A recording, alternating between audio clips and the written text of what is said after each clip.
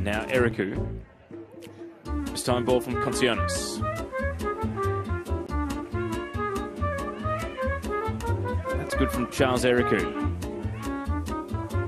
And now Pencho cuts it across the box. They need to fire a shot here, Mindil. Eriku. Deal with them, certainly. Went extra physical here tonight, and they're, they're stepping up in, in large part and showing that they want to match it with the 13 minute mark.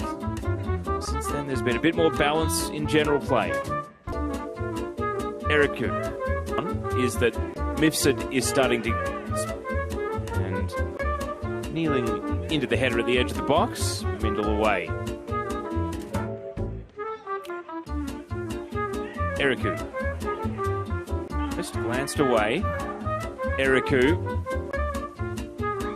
Oh, that's a great return ball on an even better save.